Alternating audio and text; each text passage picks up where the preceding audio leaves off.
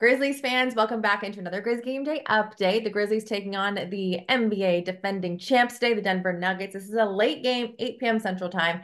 Joining us, as always, when we play Denver is Katy Winge. You ready for this one? I'm always ready for Nuggets and Grizzlies, Kels. Good. The holidays are over. No more Christmas Day basketball. We're getting ready for the new year. This is one of the last games of 2023 for the Grizzlies. Uh, we're starting off with uh, an injury report that's kind of weird because Ja Morant is questionable tonight because he's he has an illness. Okay. And then just earlier today, Santi Aldama got added to that injury report because he's also ill. Um, and apparently, I'm not in Memphis right now. I'll be going back tomorrow, but everyone in Memphis is suffering from the same illness. So everyone's just getting sick.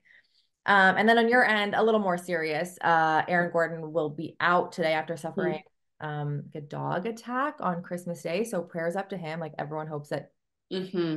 that is better. I don't even know. Like I hope it's not as serious as it is sounded. Yeah. All good. Um look, Katy, last time we played you, there was no Ja Morant. And I think that's the biggest thing on our end, right? So you guys won 108 to 104. Uh since Ja has been back, he's 4 and 0. How does that change the attack from Denver to Memphis? Honestly, Kelcey, it changes everything. It really does. And my dog is actually going to join in in this Zoom right now. We love that.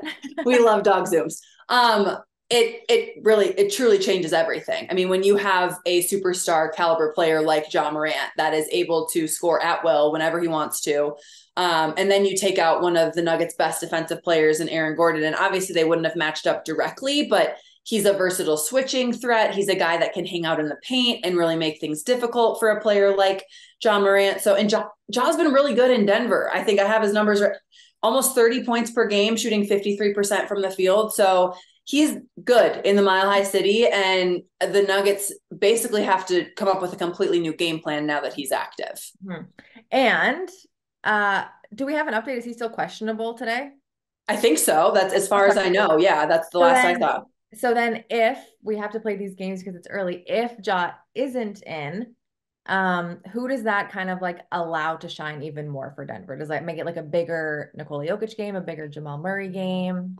I, I have to lean in favor of Jamal Murray just because of the matchup. Mm-hmm. Um, but I mean, you know this better than anybody. This Grizzlies team is so much different with Ja, like in so many shapes and forms. And so um, I think without Ja, it just allows the Nuggets to be the Nuggets a little bit more and not have to focus so much of their time, effort, energy, attention on defending and slowing down a player like Morant.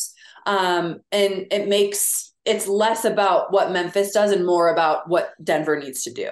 So obviously that is helpful in a lot of ways. I know Coach Malone would probably say it's about us regardless of who's stepping on the floor, but let's, you know, face reality here when Ja Morant plays, he's a handful for any any team in the NBA to cover. Yeah. Uh, I want to get to you guys really quick before I give you like my ending question. Uh, you guys are on a five game win streak, longest active win streak in the NBA right now. The Grizzlies 4 and 0 since Ja came back. Let's just assume Ja is in today, um, just for yeah preview sake. Um, what do the Denver Nuggets need to do? Like what what has been their bread and butter this year? So they've been really good at home, 12 and 2 at home. Um, when it comes to a player like Ja Morant, you got to give him a bunch of different looks. That's in terms of how you're defending him, but also who's defending him. Kentavious Caldwell Pope is putting together quite a resume for first team All NBA defense. So I would imagine that he will spend some time on Morant if he does go. And KCP gets up for those types of challenges. Like he takes so much pride on that side of the floor. So um, I would imagine a, a, pretty good showing from him.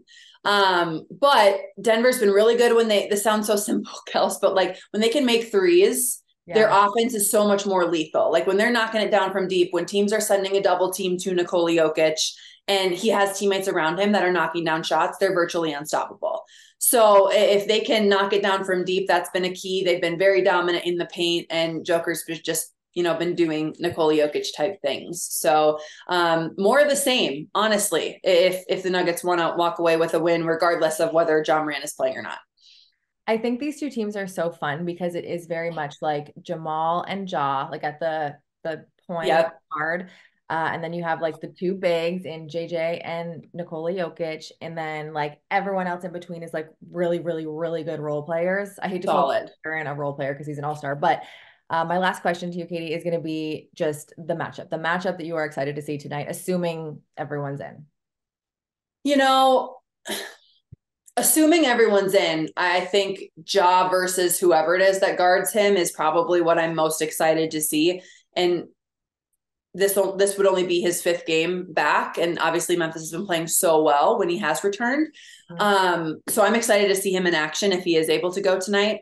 But I do also love, I mean, selfishly as someone who covers the Denver Nuggets, I love Jaren Jackson versus Nikola Jokic because I do think that that's an intellectual challenge for JJ just as much as it is a physical challenge. I mean, Jokic is so smart in the way that he attacks him, in the way, I mean, sometimes he plays off of him, but um, Jokic has been pretty good about getting him in foul trouble. And so, like, can that continue to be a trend in favor of the Nuggets? I guess we'll have to kind of wait and see.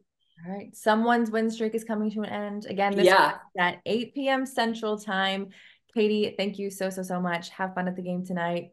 I mean, go great, but also let's just hope for a really good one. I love. The, yeah, let's hope for I a good game. we've had four good games in a row. Yes. So let's hope for a fifth. So thank you, thank you, thank you. Absolutely. Thanks for having me.